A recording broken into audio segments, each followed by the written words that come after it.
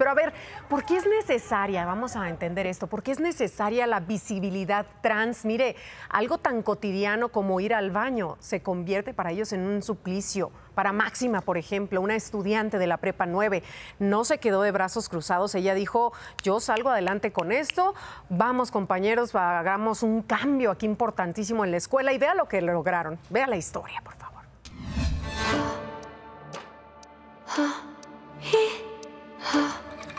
Para Máxima, ir al baño en su escuela se tornó un acto de valentía que debía enfrentar todos los días. Max es una mujer trans.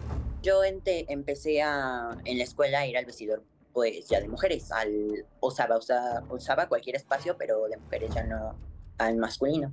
Nadie fue empática conmigo, nadie. O sea, yo era una burla para mis compañeros. En su proceso de transición, Max fue rechazada por su apariencia.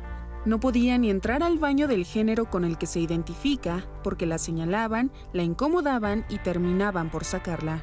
Colapsé muchas veces emocionalmente cuando me pasaba eso porque era como, como que me sentía una burla, ¿sabes?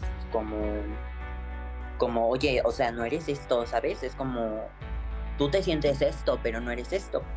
Máxima estudia en la Preparatoria 9 de la UNAM, donde un grupo de estudiantes ha sido la red de apoyo para jóvenes de la comunidad LGBTIQ, que viven situaciones de violencia dentro del plantel.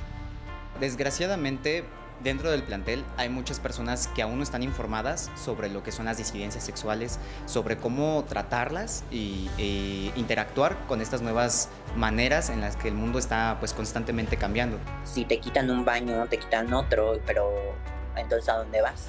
O sea, ¿a dónde tengo que ir a hacer pipí entonces? Porque esto también parece ser un privilegio ya. ¿A dónde tengo que ir a hacer pipí? El Consejo Estudiantil Autónomo Cubista en Prepa 9 inició una manifestación para promover espacios seguros en el plantel. Con consignas como ir al baño no debe ser un privilegio, se logró la apertura de un sanitario neutro.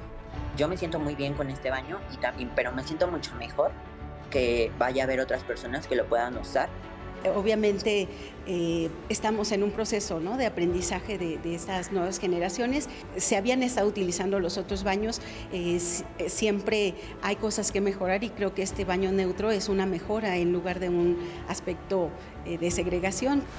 Un baño neutro es un espacio sanitario público de libre acceso en el que se procura que no ocurran situaciones de discriminación o violencia y por el contrario se reconozca y respete a la diversidad sexogenérica.